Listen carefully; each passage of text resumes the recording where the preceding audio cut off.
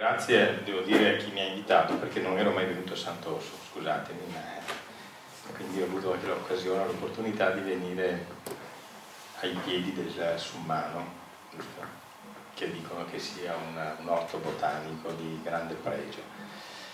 E chissà che avevo occasione di andare anche sul Summano. Detto questo, io eh, tradi, eh, tradisco subito la mia origine, nel senso che, vi dico, oh, lavoro da più di 30 anni per aziende pubbliche che distribuiscono acqua potabile e quindi chiaramente la mia è una posizione di parte, cioè per me è scontato che il servizio idrico sia un servizio pubblico, lo è sempre stato e anche credo eh, lo è sempre stato, questo servizio erogato in maniera soddisfacente.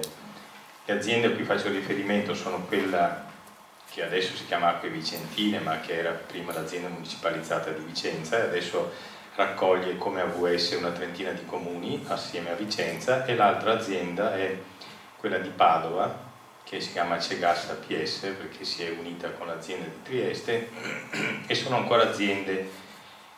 Acque Vicentine come AVS è un'azienda totale capitale pubblico, Cegas APS invece è un'azienda quotata in borsa, quindi una parte della, diciamo, delle quote societarie sono anche state vendute a privati cittadini come a banche eccetera. Quindi io parlo dell'acqua come ovviamente eh, bene comune o risorsa demaniale, l'acqua è un bene demaniale, perché molti invece la considerano ancora, ancora una cosa privata, soprattutto in quelle zone dove acqua ce n'è in abbondanza. E, ehm, il percorso sarà questo, io spero in mezz'oretta di descriverlo. Il Vicentino, come vedete qui, dietro c'è un temporale, credo incombente su tra Malo, Sant'Orso, Marano, non so, il fotografo è di Malo, quindi penso che abbia fotografato quella zona lì. Il Vicentino, come vedrete, è, come sappiamo, anzi come sapete, è una provincia particolarmente fortunata da questo punto di vista, ma questa fortuna ha fatto sì che noi vicentini siamo fra i primi a sprecare l'acqua, come vedremo. Quindi non dico che voglio anticipare la conclusione, se l'acqua è un bene comune dobbiamo avere una responsabilità comune, cioè ognuno di noi singolarmente e tutti assieme per la sua tutela, altrimenti magari il servizio resterà pubblico ma può essere che non ci sia la risorsa da distribuire, un po' estremizzando. Allora,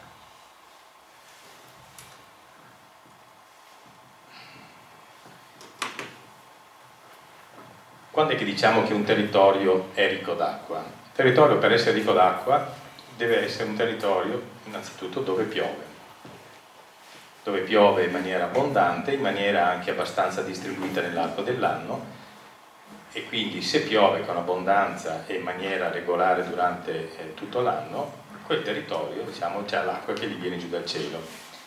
Questo però non determina da solo la grande disponibilità d'acqua bisogna anche in qualche modo cercare di trattenerla, accumularla quest'acqua, quindi noi abbiamo due possibilità, o lo accumuliamo in bacini superficiali che possono essere dei laghi o degli invasi, o in bacini sotterranei, quindi quelli che vengono chiamati materassi permeabili, che stanno sottoterra, li vedete una, una cava di ghiaia, dove l'acqua riesce a essere accumulata in quantità notevoli eh, la ricchezza d'acqua dipende anche da un altro fattore, cioè che quando piove, soprattutto nelle zone di pianura, dobbiamo essere in presenza di aree permeabili, dove l'acqua quindi riesca a infiltrarsi e a entrare diciamo, in questo grande serbatoio sotterraneo.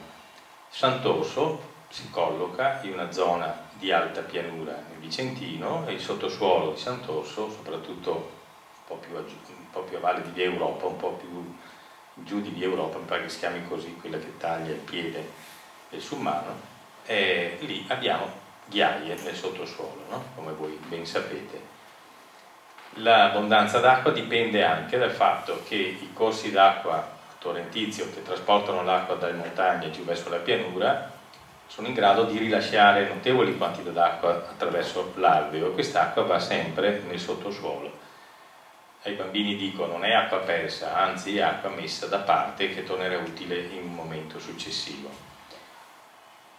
la ricchezza d'acqua, il fatto di poter disporre di acqua, dipende anche da quanta ne consumiamo. Se ne consumiamo troppa, probabilmente noi non potremmo disporre della stessa quantità di acqua durante tutto il tempo dell'anno, soprattutto quando ci sono delle stagioni sfavorevoli. Quindi la ricchezza dipende anche da un consumo corretto e nel Vicentino, come noi sappiamo, ci sono migliaia, nel Veneto si parla di oltre 100.000 pozzi ad uso per prelievo di acqua che sono ad uso pubblico, ad uso privato e poi ci sono pozzi ad uso irriguo. Alla fine di tutto questo ragionamento sulla ricchezza d'acqua noi abbiamo un elemento, un fattore naturale che si chiamano risorgive, che sono uno sfioratore naturale di tutta l'acqua che sta sottoterra, che in eccesso non riesce più ad essere contenuta nel serbatoio e quindi viene restituita attraverso queste risorgive che sono un elemento diciamo, uh, di arredo, se vogliamo, del territorio, valorizzazione del territorio, sono zone umide, quindi zone dove c'è una notevole bio biodiversità, sono ambienti eh, tutelati e di queste risorgive sia la Lombardia che il Veneto che il Friuli sono particolarmente ricche. Pensate che in provincia di Vicenza sono state censite 400 capi fonte di risorgiva, punti come quello che vedete da cui fuoriesce acqua spontaneamente. Quindi vediamo allora il primo fattore, piove in questa, in questa nostra regione, in questa nostra regione piove, nel Veneto come vedete là in alto rispetto alla, alla Puglia, alla Sicilia, alla Sardegna abbiamo delle precipitazioni nel Veneto e Friuli che sono consistenti, 2 metri, 2 metri e mezzo di acqua durante l'anno, mediamente. Che vuol dire, in termini eh, assoluti, miliardi di metri cubi di acqua che cadono dal cielo. Questi miliardi di metri cubi, e già lo si capisce da queste immagini, non si distribuiscono uniformemente in tutto il Veneto, ma si concentrano nella zona pedemontana, nella zona delle prealpi. Il perché è un fatto fisico, abbiamo dell'aria eh, umida che risale dall'Adriatico, quest'aria viene spinta verso le prealpi, che sono quote che raggiungono i 2300 metri circa, qui eh, si raffredda, condensa e piove. E, il Vicentino nell'ambito del Veneto è una delle province dove piove di più, anzi a Turcati di Recoaro si misurano sempre i massimi di precipitazione del Veneto. Un altro punto molto piovoso è la zona del Grappa, quindi le prealpi. Scusate, torno un attimo indietro, qui vedete che la stazione di Recoaro nel 2008 ha fatto, fatto misurare 3 metri e 20 circa di acqua e neve caduta durante tutto l'anno nel tre giorni del 2010, quando c'è stata l'alluvione, la stessa stazione ha fatto registrare mezzo metro di acqua in tre giorni, quindi quantità impressionanti che hanno dato poi origine a quei fattori, a quegli, a quegli eventi che conosciamo.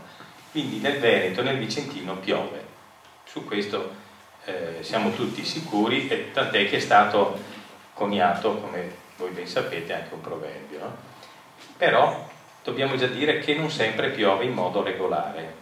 Qui vedete due annate, 5 anni di distanza, 2003-2008, la precipitazione, le piogge cadute nelle zone montane della provincia di Vicenza nel 2003 è stata la metà di quella che si è verificata nel 2008. Mediamente nelle zone montane cadono dai 2-2,5 miliardi di metri cubi in un anno, nel 2003 un 60% in meno rispetto al 2005, nel 2008 invece un 50% in più, nel 2010 un 60% in più. Quindi c'è una certa disomogeneità nelle precipitazioni e questo già deve essere un fattore sul quale bisogna riflettere per un corretto utilizzo della risorsa. Il Vicentino, l'Alto Vicentino che voi qui vedete rappresentato, quindi ha questa prerogativa. A parte che l'Alto Vicentino è interessato da due bacini idrografici, quello del Brenta più a est e quello centrale del Bacchiglione, ha la prerogativa di essere contornato da queste prealpi, il Carega, il Pasubio, l'Altopiano di Sette Comuni, Montegrappa cime che come dicevo raggiungono i 2000-2500 metri e dove quindi piove. Poi vedete poi che stanno comparendo tutti i corsi d'acqua a carattere torrentizio che trasferiscono l'acqua verso la pianura e in cui alveo viene rilasciata acqua che va poi a infiltrarsi nel sottosuolo. In questa stessa figura vedete anche tracciati vecchi alvei sepolti, cosiddetti paleoalvei, che sono delle zone nel sottosuolo dove transitano notevoli quantità d'acqua. E vi faccio osservare che per quanto riguarda il bacchiglione qui ci sono dei paleoalvei che si concentrano in questa zona che è la zona che sta tra Caldogno, Due Ville e Sandrigo la zona dove c'è il maggior numero di risorgive è la zona dove nasce il bacchiglione il Bacchiglione è un fiume di risorgiva ed è il secondo per importanza in Europa, quindi è un fiume eh, importante per una serie di motivi ed è un fiume la cui portata media sta diminuendo nel corso degli anni. Questo è un altro fattore che deve far riflettere.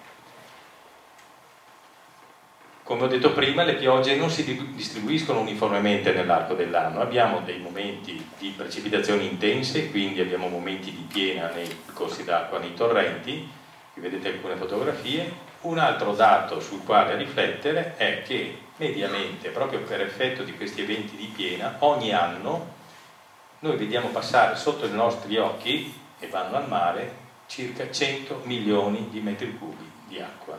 Acqua che è caduta stata raccolta dai torrentelli montani, è stata convogliata nell'Astico, nel Posina, nel Timonchio, nell'Eugra, nell'Orolo, eccetera, e poi va al mare. 100 milioni di metri cubi è il quantitativo che consuma l'azienda di Padova, Acegas APS, Acque Vicentine e AVS in un anno. Quindi c'è un volume di acqua pari che ci scappa via sotto gli occhi creando magari in quei momenti anche delle situazioni di pericolo o di preoccupazione. Questi fenomeni si stanno un po' accentuando, tra l'altro, in questi ultimi anni. Vedete alcune fotografie, ma è solo per chiamare insomma, che dobbiamo anche convivere con queste situazioni. Noi abbiamo, come ho detto, sottoterra, sotto i nostri piedi, invece un grande serbatoio. E questo serbatoio sfiora naturalmente tutta l'acqua in eccesso attraverso queste centinaia di risorgive che si collocano nella zona della media pianura. Penso che si veda abbastanza, sì. Sono centinaia di risorgive che sono tutelate, quindi le risorgive sono degli eh, elementi del territorio che non possono essere coperte, chiuse, perché sono eh, tutelate. Nonostante questo c'è qualcuno che siccome disturba magari chi coltiva il terreno, quando deve arare, oggi un po' domani, un camion di, di ghiaia, un po' di terra eh, le copre e le va poi a soffocare. No? Come si presenta questo sottosuolo? Cioè perché abbiamo questa ricchezza d'acqua sotto i nostri piedi? Perché se noi facciamo una sezione che vada più o meno verso Vicenza attraverso Tiene, vediamo che il sottosuolo lo possiamo distinguere in due grandi zone, una zona più vicina alle montagne, più vicina ai rilievi, dove sopra questo substrato roccioso prevale, diciamo quasi esclusivamente, abbiamo alluvioni ghiaiose, alluvioni sassose, abbiamo ciotoli, abbiamo sabbie grossolane. No? Poi man mano che scendiamo verso la, la media pianura, verso Vicenza, cominciano a comparire nel sottosuolo questi che vengono chiamati orizzonti argillosi questi orizzonti argillosi hanno degli spessori inizialmente contenuti, poi diventano sempre più spessi, raggiungono anche i 40 e i 50 metri e separano tra di loro dei livelli ghiaiosi, che sono le falde acquifere utilizzate poi dagli acquedotti.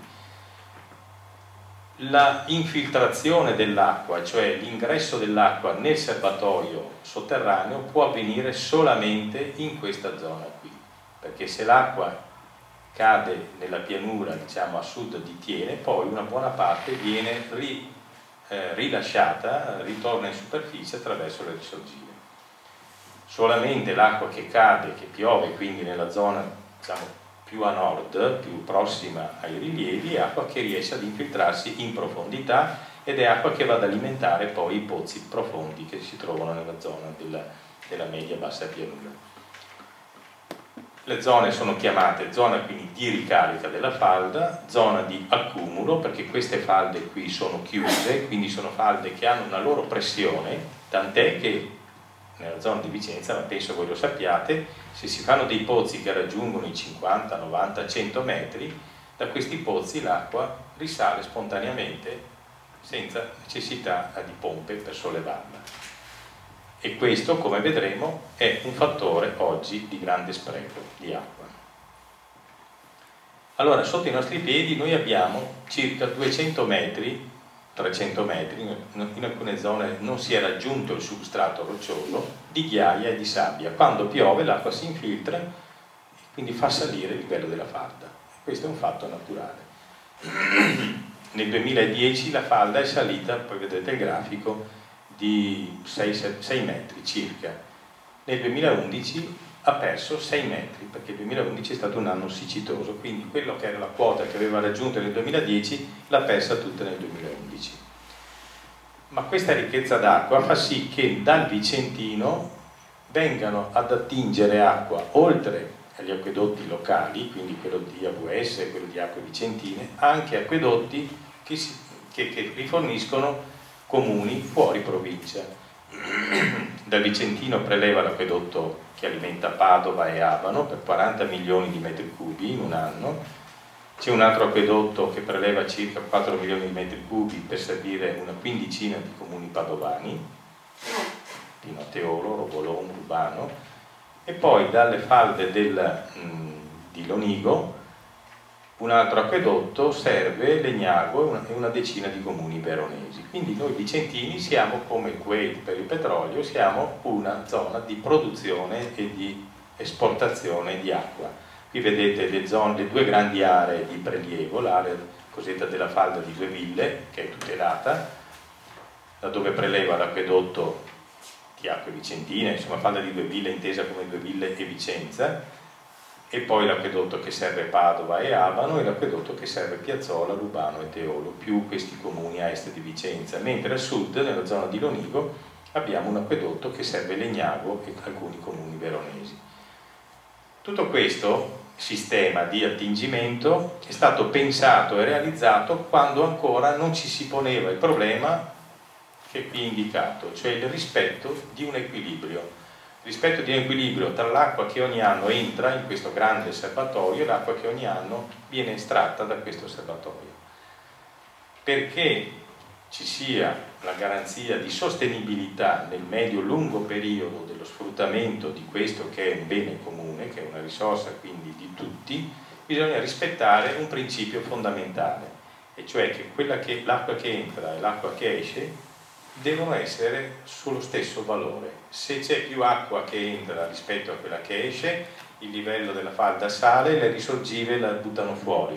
Se invece al contrario viene estratta più acqua di quella che ogni anno entra, il livello delle falde si abbassa e le risorgive si prosciugano.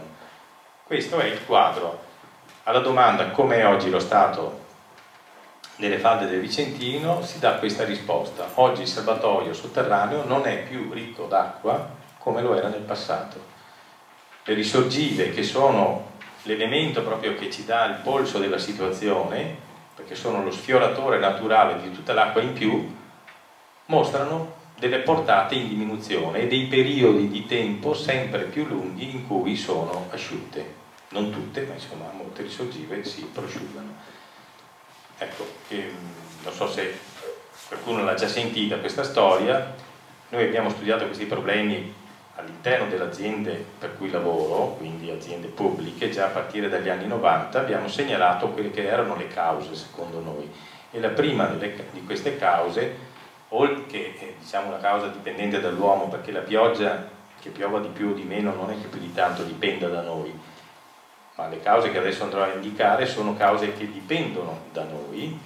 La prima di queste cause è il consumo del territorio. Il consumo del territorio in questi ultimi cento anni ha fatto sì che noi abbiamo perso circa un 40% di superfici permeabili attraverso cui l'acqua poteva infiltrarsi. Questa era la situazione alla fine dell'Ottocento praticamente dagli anni 50, quindi dal secondo dopoguerra al 2000, abbiamo urbanizzato. Siamo cresciuti, siamo diventati economicamente più, anche, più ricchi, però tutto questo anche a scapito del territorio. E il consumo del territorio vuol dire due cose, meno acqua che si infiltra e più acqua che viene poi trasferita rapidamente attraverso i torrenti giù verso la pianura. Oggi la zona dove siamo si presenta così. E quindi la, la, la risposta di questo sistema è i livelli di falda si alzano, si abbassano, si alzano, si abbassano in dipendenza di quanto piove, di come piove, però c'è una tendenza generale che mostra una diminuzione.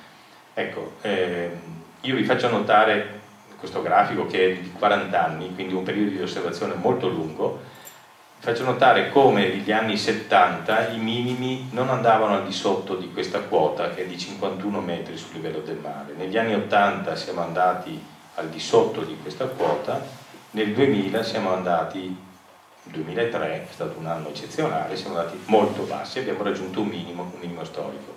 Nel 2010, fine 2010, inizio 2011 abbiamo raggiunto un massimo, però come ho detto il 2011 è stato un anno siccitoso e la falda ha perso 6 metri, poi ha avuto un piccolo recupero, ma oggi, ecco questa è la situazione oggi, eh, voi vedete la, quella che è la fluttuazione media della falda nell'arco dell'anno, qui sotto ci sono le 52 settimane, dalla prima di gennaio all'ultima di dicembre, la falda diciamo, ha una leggera risalita tra aprile e maggio e poi durante i mesi estivi generalmente scende per riprendere un pochino verso ottobre-novembre. Qui vedete alcuni anni particolari, questo è stato il 2003, da, da gennaio fino a ottobre la falda è sempre scesa raggiungendo il minimo storico. Nel 2010 invece ci sono state piogge ripetute, è stato uno degli anni più piovosi dell'ultimo trentennio e ha raggiunto questo livello. Nel 2011 è partita quindi da questa quota ed è però praticamente sempre scesa. Si è ripresa verso la fine dell'anno ma non in maniera così sostanziale. Nel 2012 siamo partiti da questo punto ed è scesa, è scesa tant'è che a marzo noi eravamo a livelli decisamente più bassi di come eravamo a marzo del 2003, quindi una grande preoccupazione per quello che poteva succedere se ci fosse stata un'annata come il 2003. In realtà tra aprile e maggio è piovuto, quindi la falda si è ripresa, ha raggiunto a 18 giugno questa quota, adesso è già in discesa, siamo a questo punto. Quindi abbiamo tutta un'estate davanti e io devo pensare che il suo andamento sarà questo, fino alle prime piogge autunnali. Quindi il 2011 il 2012 non si presenta come un anno particolarmente eh, positivo. Questo è un altro pozzo insomma, che mostra più o meno lo stesso andamento, la perdita di quota della falda. Quindi bisogna pensare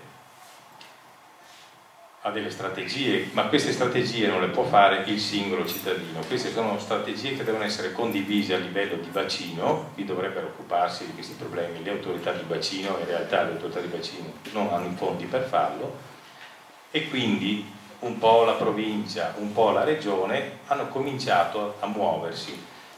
La, la regione per esempio sulla questione dei prelievi ha emanato il piano di tutela delle acque, penso voi lo sappiate, e questo piano di tutela delle acque prevede che situazioni di questo tipo non siano più ammissibili.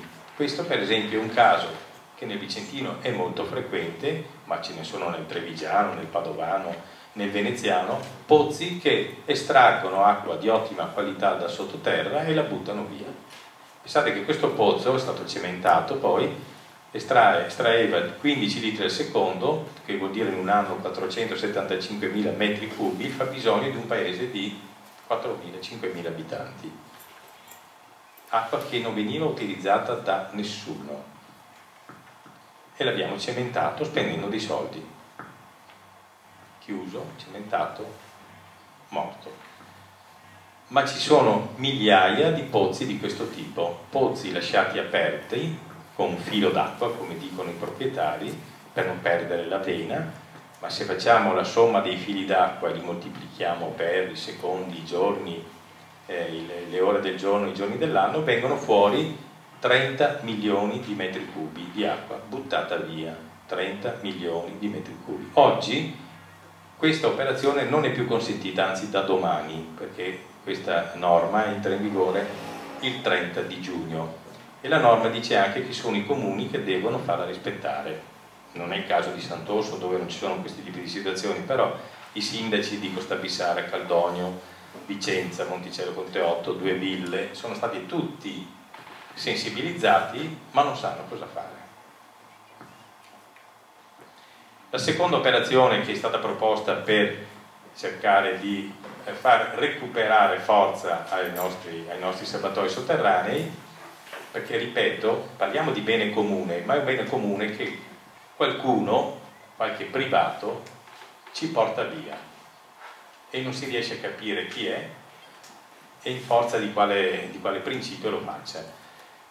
E allora si cerca di compensare questo prelievo, questo spreco, ricaricando la falda in maniera forzosa, infiltrando acqua, infiltrando acqua alcuni mesi all'anno, soprattutto siccome è acqua usata, che viene normalmente usata per l'irrigazione, queste operazioni di ricarica si fanno nei mesi in cui l'acqua non serve per l'irrigazione, utilizzando o le aree boscate o i pozzi bevitori. Questo è un esempio di area boscata che è stata già realizzata a Schiavon. Il consorzio Brenta ha fatto due impianti pilota di questo tipo, scavando delle canalette, mettendoli a fianco delle alberate e facendo scorrere acqua che poi, siccome il terreno lì è sassoso, si infiltra nel sottosuolo. In questo modo, vedete, non è che si infiltri granché, 70 litri al secondo per ettaro, quindi non è grandi cose. È una tecnica che ha un vantaggio che il terreno viene vincolato all'uso eh, produzione biomassa legnosa e infiltrazione di acqua in falda. Un'altra tecnica che richiede minore consumo di territorio è, è, è quella dei pozzi bevitori. I pozzi bevitori sono dei pozzi scavati a una profondità di 6-7 metri, vengono riempiti di materiale grossolano, di ghiaione, di pietrisco, vengono alimentati con acqua e l'acqua poi entra nel pozzo e va direttamente ad alimentare la falda. In questo modo, nelle vicinanze del pozzo, la falda ha un recupero di livello. Ecco. Qui vedete delle foto di alcuni pozzi, due, tre pozzi bevitori che sono già stati realizzati, quattro pozzi bevitori, scusate, quindi l'acqua viene derivata da una canaletta irrigua, viene immessa con questi tubi nei pozzi, i pozzi sono degli scavi fatti poi con degli anelli forati riempiti di pietrisco in superficie non si vede niente, c'è solo un pozzetto il consorzio da pianura veneta ne ha fatti due a Cornedo, uno a Sarcedo e uno a Montecchio Precalcino noi utilizzando un modello matematico che abbiamo sviluppato assieme all'Università di Padova abbiamo anche stimato quali sono i benefici per la falda se si fanno queste azioni. Per esempio chiudendo i pozzi che sono di zone servite da acquedotto, quindi pozzi che non serve assolutamente lasciare aperti perché non c'è motivo, si recuperano dai 30 ai 40 ai 50 fino a 60 cm di livello di falda.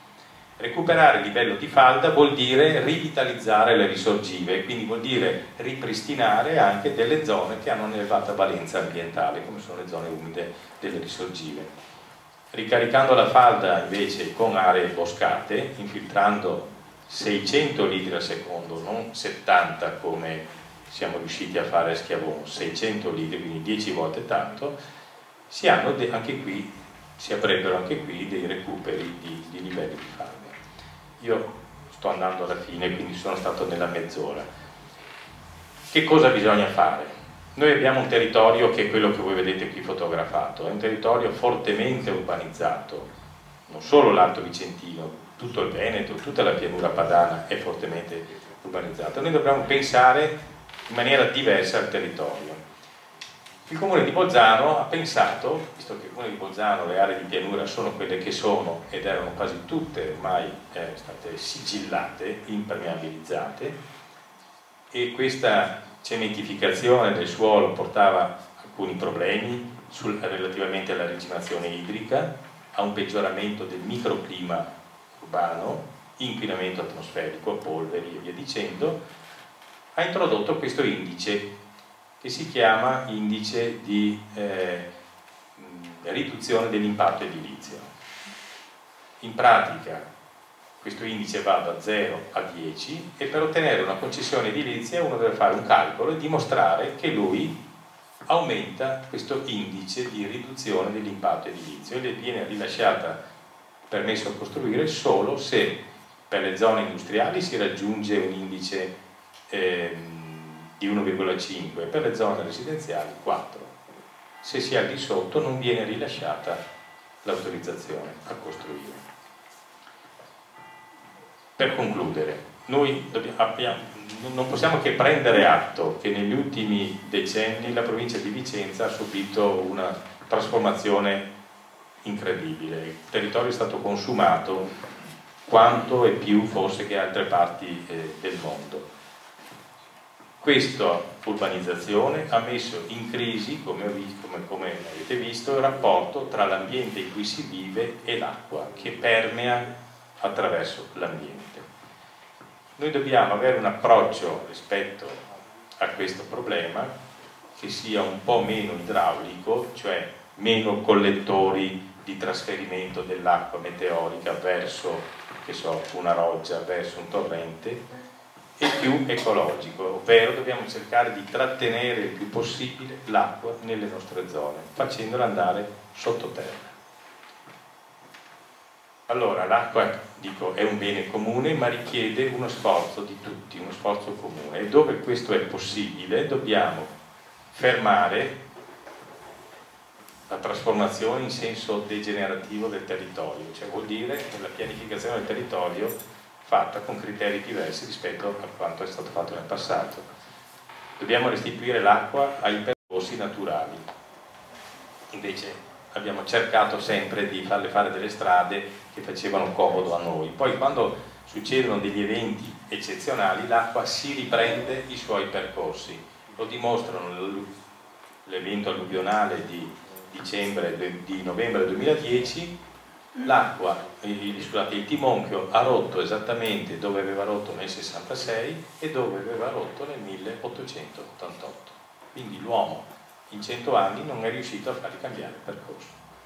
Recuperare le zone umide, anche con funzioni di bacini di laminazione delle piene e aree di infiltrazione, eliminare gli sprechi, ridurre i prelievi da falda, io adesso sono veramente curioso di vedere come i comuni si porranno di fronte al problema della chiusura di quei pozzi che continuano a estrarre acqua anche in questo momento da sottoterra, destinare i suoli che hanno una naturale vocazione proprio per le loro caratteristiche, a disperdere acqua, destinati alla dispersione dell'acqua, a ricaricare la falda, laddove possibile, perché credo in molte parti questo non sia più possibile.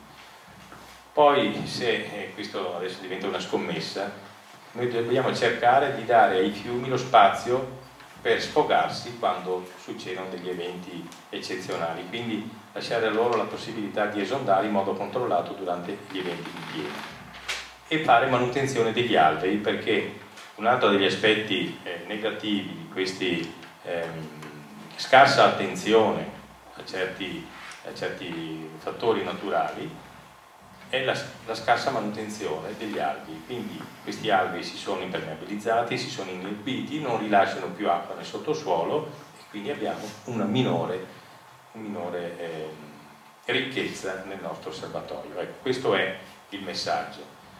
Tutto quello che voi avete visto è lavoro fatto all'interno della nostra società che si chiama Centro Idrico Novoledo che è una società partecipata da aziende di pubblico servizio. Io mi sono posto più volte, se avessi lavorato in una società privata, che come ce ne sono, che danno questo tipo di servizio, mi sono chiesto più volte se eh, ci avrebbero lasciato eh, lavorare in questo campo, cercare di capire se ci sono problemi. Io non ho parlato di problemi di inquinamento, ma potremmo fare una serata sull'inquinamento delle falde, anche nell'Alto Vicentino. Ecco, eh, c'è da chiedersi se società private hanno, come dire, nella loro logica, nella loro filosofia, nei loro obiettivi anche quello di tutelare o di portare avanti iniziative per la tutela della risorsa. Forse devo pensare che non è così, ecco, però non so se ci siano esempi in giro per l'Europa. Ecco, vi ringrazio dell'attenzione.